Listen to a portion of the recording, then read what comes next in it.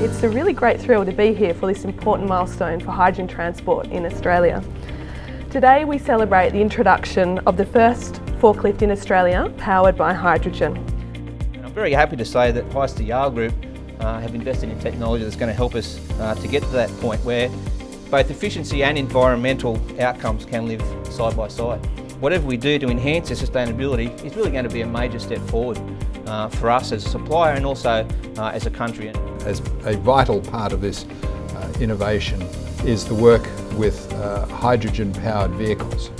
The environment for future generations is at stake and hydrogen can play an important role in mitigating this.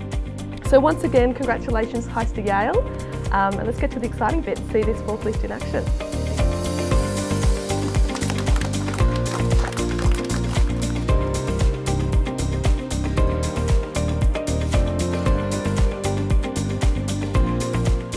From the outside it looks like a very simple black box, however there's a lot of components inside which allow us to convert the hydrogen into electricity.